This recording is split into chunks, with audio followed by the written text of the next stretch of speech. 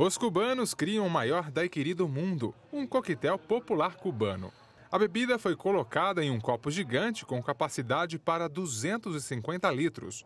Dez garçons utilizaram 10 liquidificadores para criar o coquetel gigante. Estamos muito contentes, é um sonho. Estamos muito felizes. É um sonho que nós queríamos realizar, conta Andrés Aranciba, que é gerente do bar onde foi criado o drink.